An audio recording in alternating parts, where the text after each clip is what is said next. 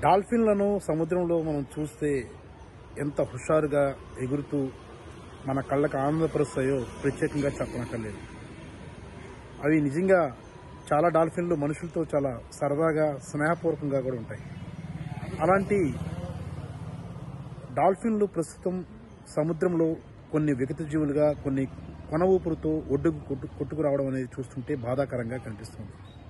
విశాఖపట్నం జోడుగు జోడుగుళ్ళపాలెం పరిసర ప్రాంతాల్లో ఇలాంటి డాల్ఫిన్ ఒకటి కొన ఊపిరితో కొట్టుకొచ్చిన పరిస్థితుల నేపథ్యంలో అక్కడ యువకులు మాత్రం చాలా నిజంగా శభాష్ అని చెప్పాలి. ఆ యువకులంతా కలిసి కొన ఊపిరితో ఉన్న డాల్ఫిన్ని తిరిగి సముద్రంలోకి పంపించారు.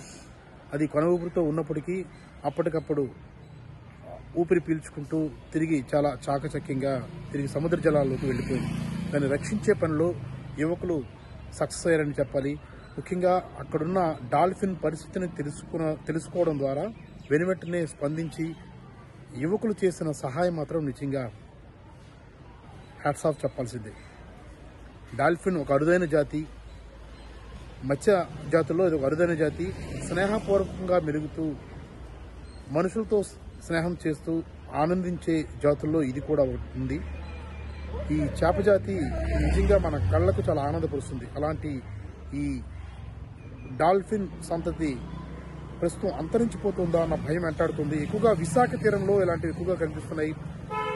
వేట వల్ల లేదంటే రసాయన కాలుష్యాల వల్ల తెలియదు కానీ ఇలాంటివి అప్పుడప్పుడు ఒడ్డు కొట్టుకొచ్చి కొన్ని మృతి చెందుతుంటే మరికొన్ని కొన ఊపిరితో కొట్టుమిట్టాడుతూ కొంతమంది కళ్ళకు కనిపిస్తూ మరికొన్ని బతికి బట్ట కట్టి తిరిగి సముద్ర జలాల్లోకి వెళ్తున్నాయి.